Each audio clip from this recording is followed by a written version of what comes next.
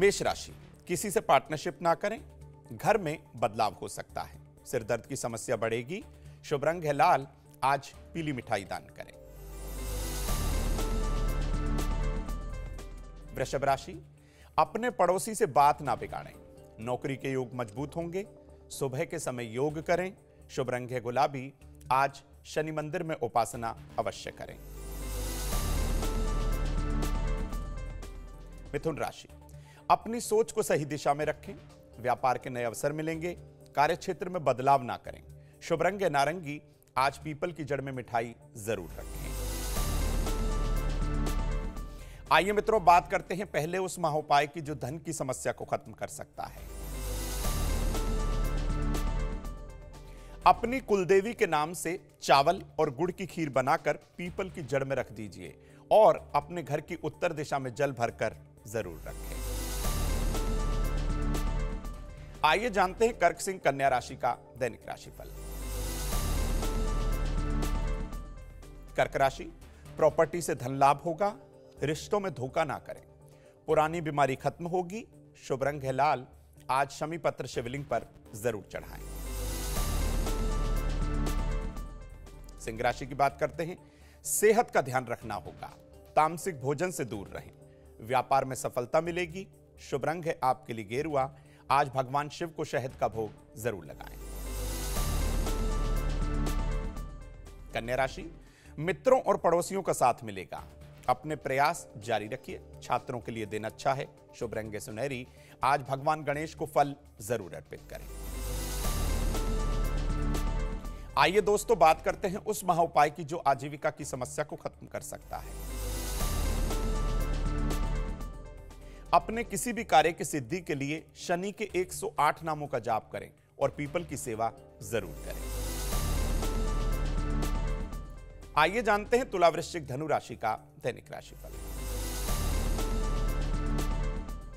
तुला राशि, नौकरी में उन्नति का योग है। अपनी सेहत का ध्यान रखें, मित्रों की मदद करें। शुभ रंग है आपके लिए आसमानी।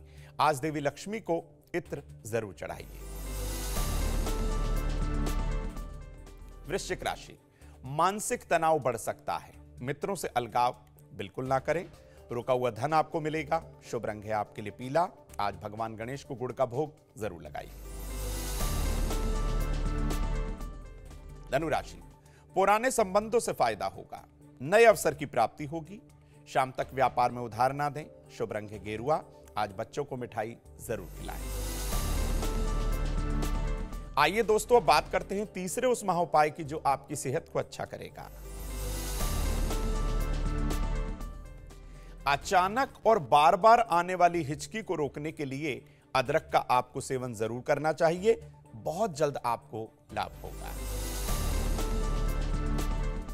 आइए जानते हैं मकर कुंभ मीन का दैनिक राशिफल।